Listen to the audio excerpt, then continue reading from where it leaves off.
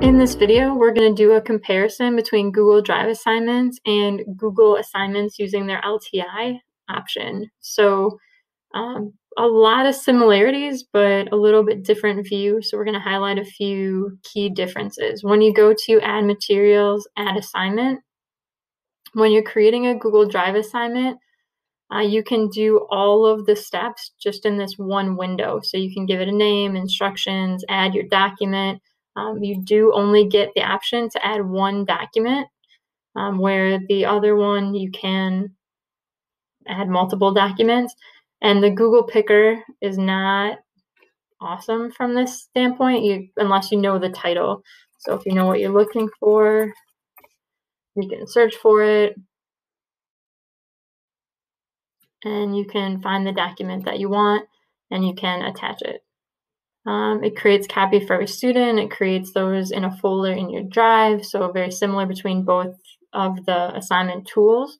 But here you can add your points and select the grading category. So this is a one-step process. When you're down here at this bottom scale or rubric, you can choose to create a new rubric, or if you've created rubrics in Schoology before, you can attach a rubric to it. So this is an option in both programs or both opportunities um, to add rubrics and grade with those rubrics.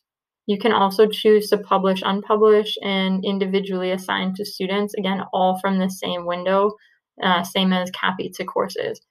Now, with both the Google Drive assignments and the Google Assignments LTI, copying to courses does not take the documents with it. So I was really hoping this was going to be a fix for the LTI app um, but it does not. The documents are static within that course or linked courses that it's created in. If you add it to resources or copy it to other courses, the documents do not come with it. So it's kind of a bummer, but it is what it is. And then you can create the assignment. Um, when you create the Google Drive assignment, it gives you this opportunity to view in progress. So it tells you if students have opened the document and if they've opened it, you can actually participate with them on the document as it's in progress from the Schoology window. And then when you go to submissions, then it gives you the opportunity to see all the students that have submissions. Their submissions are here, and then you can add points and do whatever grading that you need to from this window. The kind of difficult thing is that the more students you have turning this assignment in, it's not an easy navigation between students. So it's like you just have to keep going down this list and then scroll up to view it and then scroll down to find the next student and scroll up to view it. Um, so that is a little bit different. Or use the filters so that you're only seeing the ones that need grading. So after you grade it, it falls off the list. So that's an option as well. When you're looking at the LTI option, so when you go to Google Assignments to create the assignment,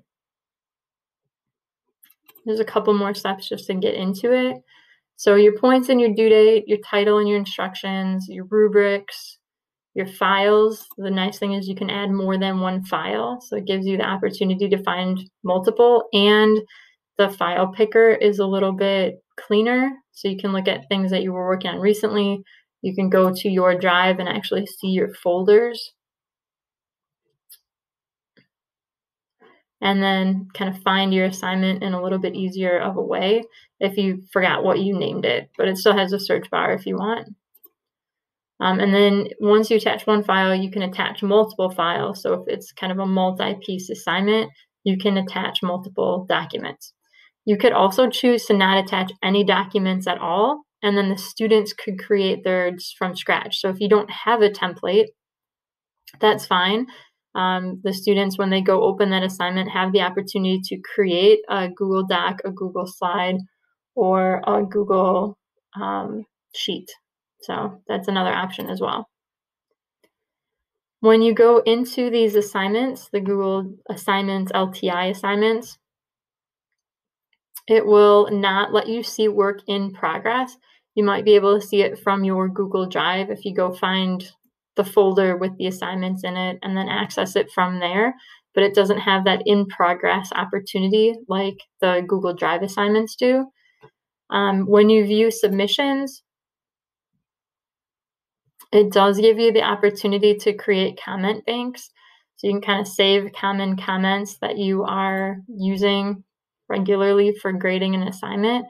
And then it lets you just kind of scroll through, like from one student to the next to the next, or to use this drop down to search for students to grade their assignment. And then it has the return option, so you can return the submission or multiple submissions to the students.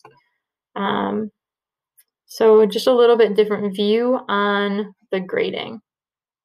Another piece of the Google Assignments LTI app is that once you've created it, it is a two-step process to go in to edit it, to actually assign it to a grading category because it defaults to ungraded.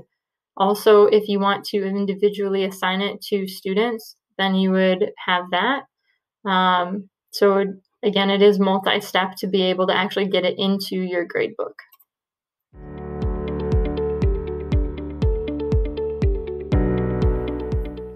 So from a student perspective, when you're accessing one of these Google assignments, um, you can click on it so then when it opens, you have the opportunity to then open the assignment or open your file. So you can like click on the file and it will bring it open.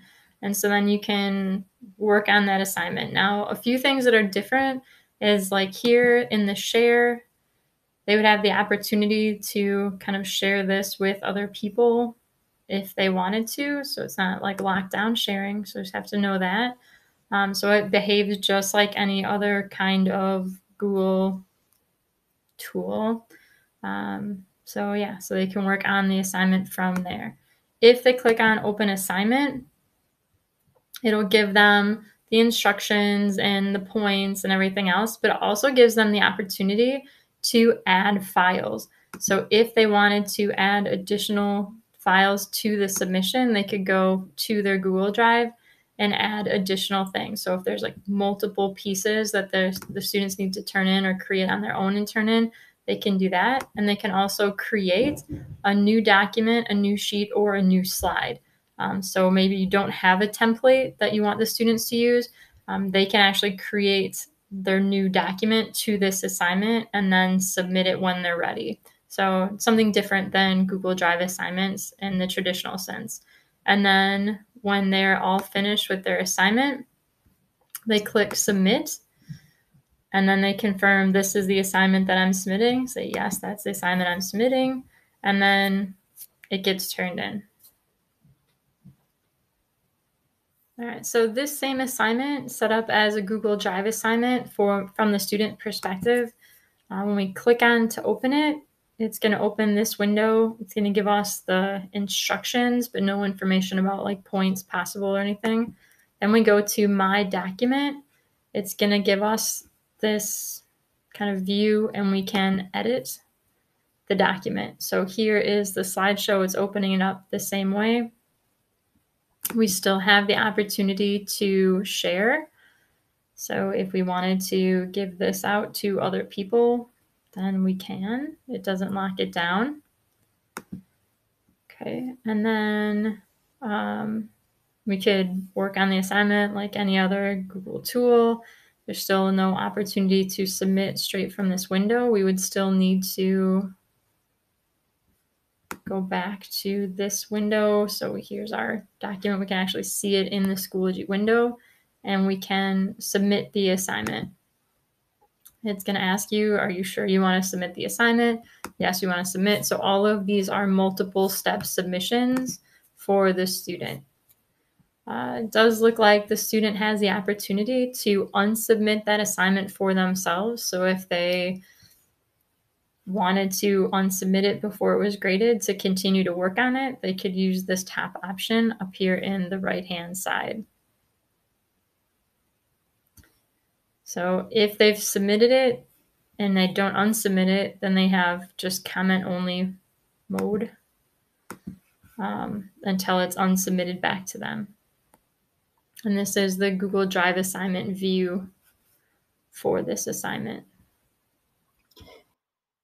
Kind of in summary, in messing around with these two options, um, just briefly, uh, since the Google Assignments LTI app is pretty new, Um, it's just going to come down to your personal preferences and your student preferences. So if you have an assignment that needs more than one document, then go with the LTI app. If you like being able to quickly access students um, in process, like while they're working on their assignment, then go with the Google Drive assignments. Um, the file pickers are definitely different. That was a big reason why they changed it up. So it's just going to come down to which one you feel more comfortable with and your students feel more comfortable with but it, they both can essentially do the same thing. So if you do have questions, don't hesitate to reach out to an instructional coach. Good luck.